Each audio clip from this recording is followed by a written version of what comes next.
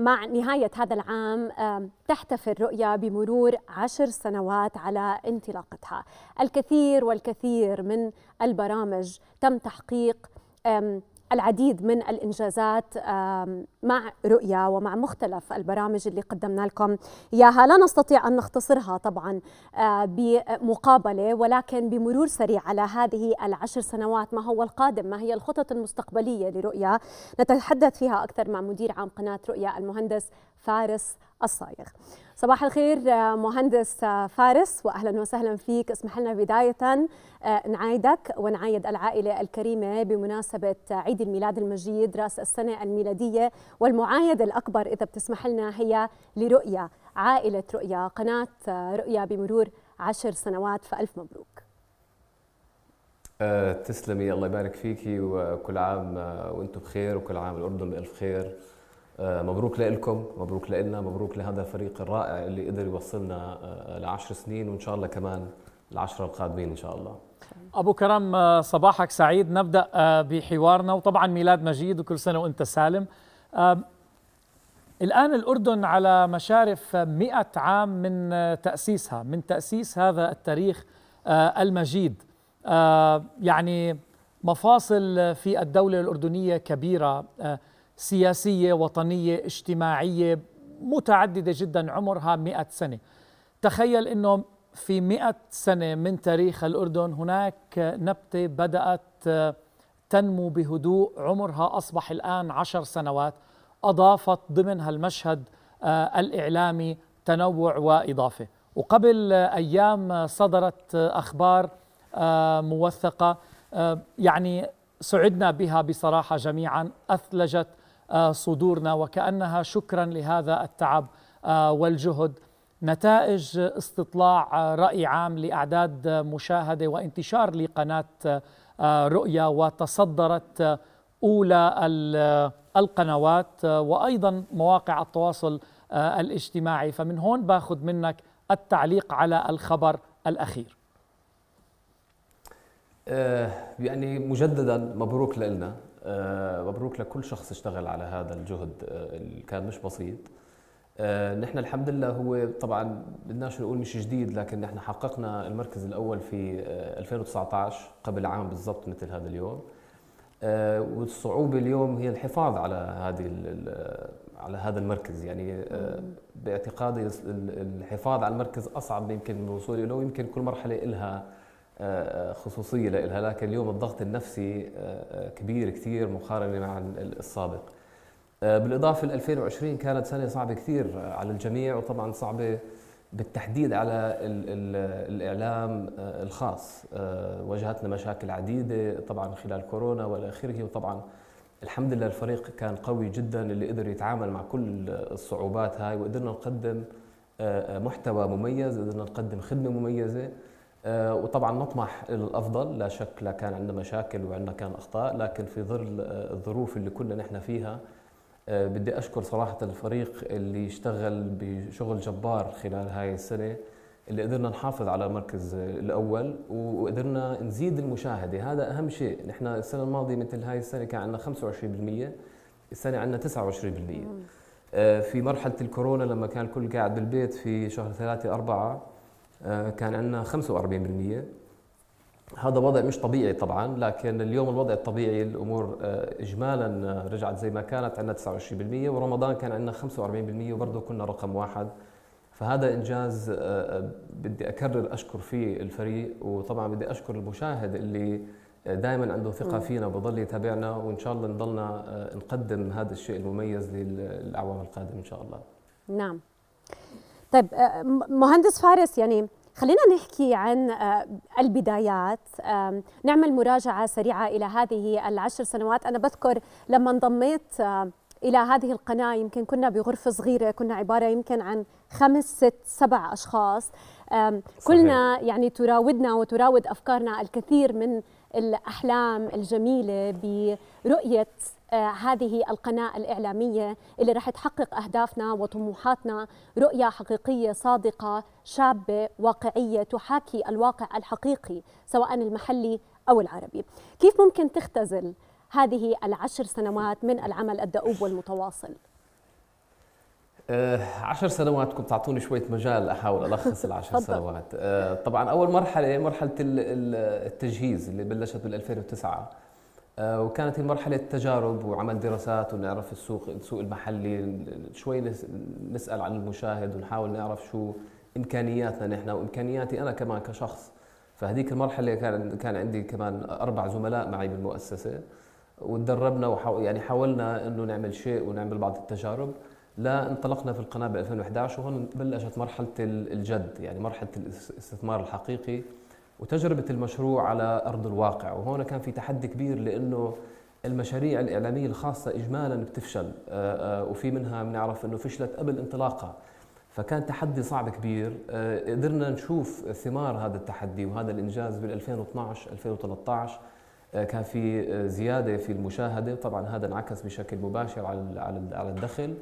ومن هون قررنا إنه نحن لازم نستثمر بشكل أكبر لهذا المشروع. من 2013 والحمد لله ب 2017 قدرنا نجيب المركز الأول وكان هدفنا نحن كيف نوسع انتشارنا وكيف نقدم محتوى أفضل آه، آه، للمجتمع الأردني والفلسطيني والمجتمع العربي.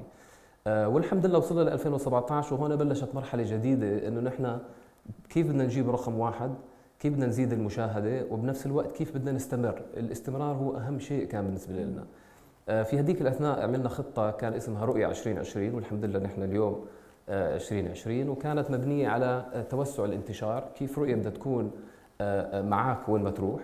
ففعلا نحن اليوم موجودين في كل مكان كل منصة إلكترونية في كل موقع تواصل اجتماعي وعلى أي شاشة تلفزيون هذا كان أهم شيء لحتى نزيد الانتشار.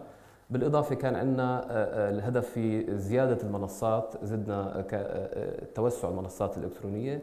وأيضا إنشاء خدمات مساندة لقناة رؤية لحتى تزيد من قوة رؤية ويكون في استدامة لهذا المشروع. ابتداء في أكاديمية رؤية للتدريب الإعلامي اللي أضافت بشكل إيجابي على على رؤية وعلى المجتمع. بالإضافة كمان لإدارة المواهب والمشاهير. مشروع الكريتيف لاب هو آه، آه، منصة للإبداع ولإنتاج الأفكار. وكمان لتقديم الخدمات الإنتاجية آه، والفنية. ووصلنا لغاية اليوم واليوم نحن عم ندخل مرحلة جديدة لحتى نبني لمستقبل جديد إن شاء الله. أبو كرم هو السؤال الأخير ولكن نعتبره سؤالين. أين تجد رؤيه بعد عشر سنوات من الآن؟ هذا واحد. ورقم اثنين إذا بتقدر تعطينا بشكل بشكل عام آه، أرقامنا نسب مشاهداتنا. قديش حققنا مشاهدات آه، على منصات التواصل الاجتماعي؟ إذا عندك يعني آه، أرقام. نعم. اولا يا سيدي العزيز المرحلة القادمة أول صعب إنه الواحد يقول شو بده يعمل وين المشروع بده يروح بعد خمس سنين أو عشر سنين. نحن اليوم يا دوب عارفين نطلع بعد بسنة. لكن اللي بنقدر نقوله إنه نحن بنحط خطة واستراتيجية لتحديد مسار آه، نشاط المؤسسة. وهذا المسار إن شاء الله يوصلنا آه، آه، للهدف اللي إحنا حاطينه. وأهم شيء نحن اليوم عم نطلع عليه انتشارنا كيف بده يتوسع بشكل أكبر وتحديدا في مجال الإنترنت والأونلاين. ففي بداية ال 2021 إن شاء الله راح يكون في إطلاق راح يكون في راح نطلق مشروع جديد فكرة جديدة وهي مبنية على إطلاق مشاريع عدة مشاريع منصات إلكترونية آه، آه، وخدمات جديدة آه، كلها تصبح مساندة لقناة رؤيا وليست تحت مظلة رؤيا وهذه المشاريع المساندة وفي التساوي إن شاء الله رح تكون فيها توسع كثير كبير واستثمار كبير وتحديدا مش فقط للأردن هو يكون على مستوى الوطن العربي والعرب في كافة أنحاء العالم.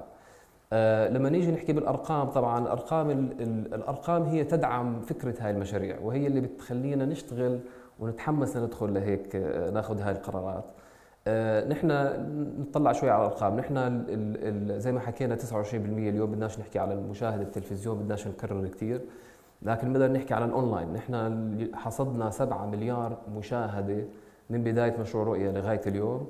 آه، وللعلم 2.5 منهم فقط في سنة 2020 فنحن حققنا زيادة هائلة بهاي السنة في المحتوى الإلكتروني والمحتوى المرئي آه، آه، اللي عم عم يتم مشاهدته من جميع أنحاء آه، العالم. بالإضافة عندنا منصاتنا الخاصة عندنا ما يزيد عن 6 مليون مستخدم بآخر 30 يوم هدول بيستخدموا خدماتنا إن كان موقع رؤيا الإخباري بازار رؤيا والدنيا دنيا رؤيا دوت تي في والسمارت أبس وإلى آخره. عندنا 6 مليون مستخدم عم بيستخدموا هذه المنصات.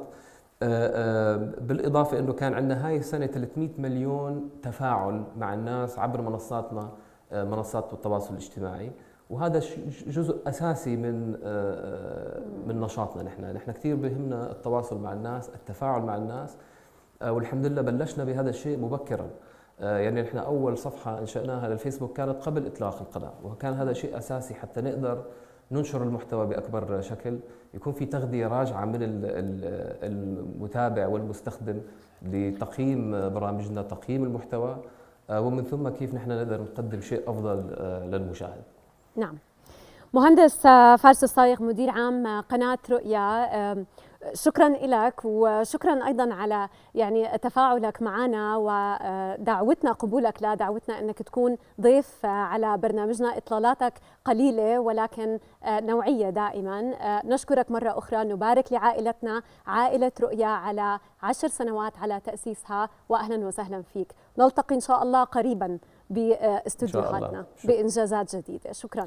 أهلا شكرا جزيلا أبو كرم وكل سنة وأنت سالم. برضه هذه كمان آه، آه، فرصة آه، نعايد كل عائلة رؤيا.